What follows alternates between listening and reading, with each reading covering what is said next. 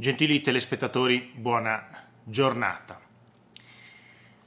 Non lo dice in pubblico Meloni, ma l'ipotesi come il Ministero degli Interni per Salvini, quindi no al Ministero dell'Interno per Salvini o la Presidenza del Senato per Berlusconi, non vengono considerate. Agli alleati si può concedere la presidenza a Palazzo Madama, alla Camera si vedrà ma tutto dovrà essere serio, niente buffonate, niente buffoni e niente pagliacciate, niente teatro. A partire dal Dicastero dell'Economia, che si pensa di affidare a un tecnico, magari non a panetta, per non scoprire il versante Banca d'Italia e Banca Centrale Europea, anche perché la situazione è difficilissima.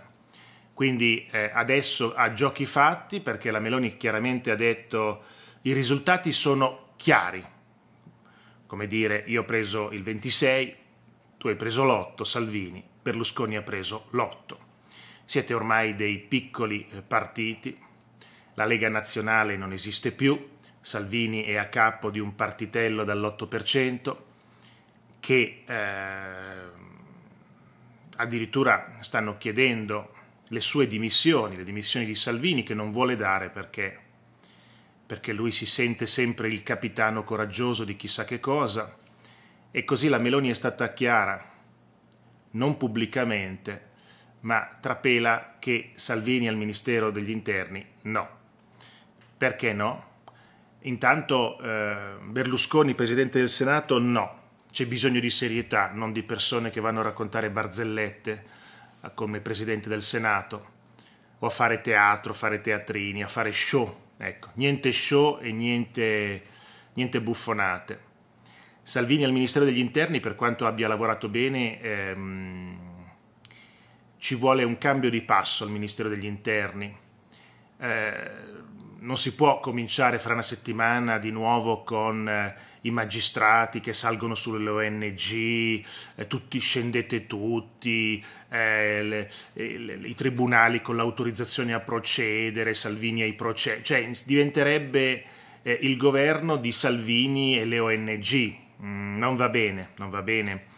Va trovata un'altra soluzione, va messa un'altra persona al Ministero degli Interni, va fatto il blocco navale concordato con l'Unione Europea, con i paesi eh, costieri dell'Africa per prendere il problema alla radice. Niente show, niente tribunali, niente panzanate, niente la nave arriva in diretta, cosa farà adesso, vira a destra, vira a sinistra, arriva la guardia costiera, Salvini che dice non passeranno.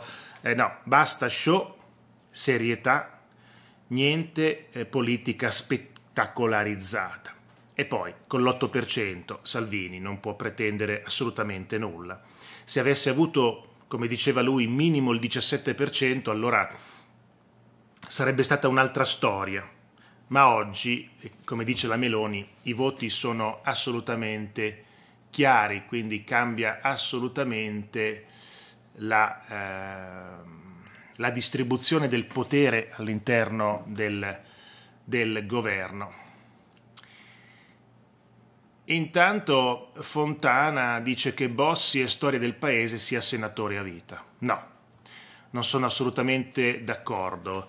Eh, chi ha disprezzato l'Italia e chi eh, vive al centro-sud eh, non merita di essere a Roma come senatore a vita.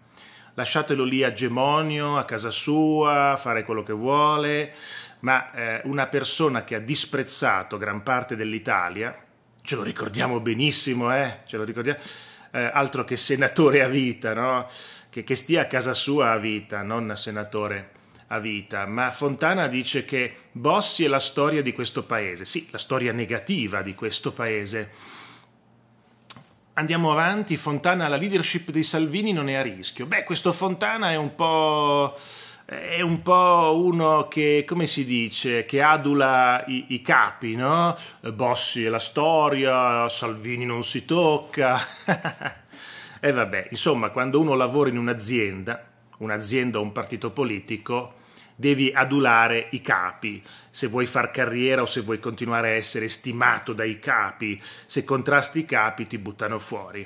E quindi in politica come nelle aziende vediamo questo tipo di atteggiamento. E poi vediamo che um, Scinas, che non so chi caspita sia, il vicepresidente della Commissione europea, Margaritis Scinas o Schinas, chi lo sa. L'Italia guadagna se lavora con e non contro l'Europa. Ma fatevi i fattacci vostri in Europa, ma guardatevi alla vostra triste Europa di Bruxelles. Intanto eh, Gentiloni, quello che cantava Bella Ciao in Europa per del PD, per intenderci, Fondamentale che il prossimo governo onori impegni del PNRR. Bravo Gentiloni, ci volevi tu eh, del PD a dirlo. Eh? Pensa al 18% che avete preso, vergognatevi al posto di parlare degli altri, parlate di voi stessi. L'Unione Europea, governo uscente, può presentare un piano di bilancio provvisorio. Beh, è quello che probabilmente ha chiesto la Meloni a, Draghi, di presentare un piano provvisorio per poi continuare su quel piano, perché il governo si riunirà per la prima volta boh, tra 20 giorni.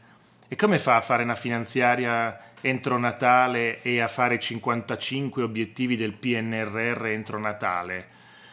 Cioè, tra, fra 20 giorni uno entra in ufficio, non sa manco come funziona il telefono, dice che devo fare lo 0 e il 9 per la chiamata esterna e deve presentare una finanziaria e, e, completare 55 obiettivi che non sanno neanche quali siano, diciamo che è un po' difficoltoso. Qui c'è bisogno che il governo uscente e, eh, e Draghi faccia un passaggio di consegne molto molto dettagliato e preciso che ovviamente farà, attenzione, Draghi lo sta facendo ed è già d'accordo con la Meloni, ne parleremo se facciamo a tempo perché sono un sacco di notizie eh, ne parleremo nel, in un video successivo, l'accordo tra Meloni e Draghi proprio per continuare quello che stava facendo il governo, il governo dei migliori, quello che sta uscendo, che, che è finito, eh, che ancora sta facendo un esercizio provvisorio in attesa, in attesa che arrivi il prossimo, il prossimo governo.